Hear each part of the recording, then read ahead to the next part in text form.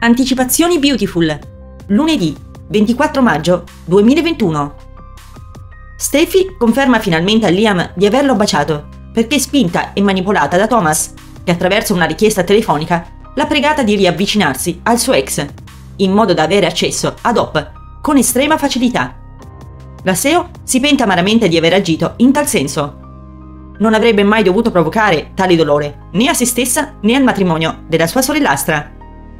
Nel frattempo allo chalet Hop è molto arrabbiata e insiste con Thomas. Sposare subito da Buckingham è un errore enorme. Non è ancora sicuro di quel che prova e in aggiunta a ciò Douglas non è pronto a vederlo accanto ad un'altra donna. Lo stilista però non vuole ascoltarla. Hop stanca lo lascia un attimo per andare a controllare Beth.